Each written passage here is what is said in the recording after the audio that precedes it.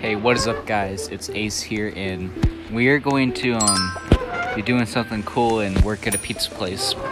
Um this is what the game's called, so yeah, if you want to try this trick out and then see for yourself. But um so you know how we're supposed to cook pizzas and serve room temperature sodas, right? Well, nah, we should serve cooked fizzly sodas and room temperature pizza. Want to see what I mean?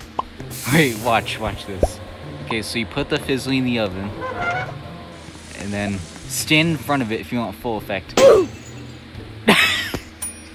Look at that. Did I die? Oh wait, yeah, I died. I died. That was sick though. Alright, let's do it one more time. I wanna. If someone else stands in front of the oven while, um, as you just saw, while the soda's in the oven, then yeah, it might kill you. Or probably will. If you're right in front of it.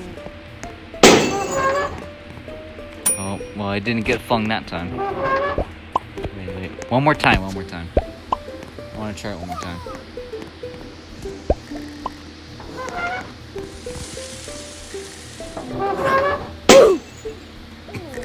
I got flung all the way out of the kitchen, dude. Alright guys, so that was pretty cool, so um thank you for watching and yeah, see you in the next video.